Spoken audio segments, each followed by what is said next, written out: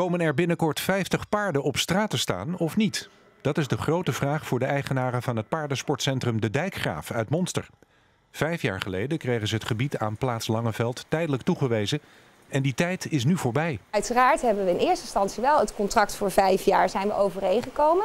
Uh, maar daarnaast is duidelijk uh, de opmerking gemaakt vanuit de gemeente dat er mogelijkheid was tot verlengen op het moment dat hier niet ontwikkeld zou worden. Nou, je kunt je voorstellen dat in het kader van een, van een bepaalde overgang dat de gemeente nog probeert om uh, in, in overleg met de omwonenden daar een wat langere periode mogelijk te maken.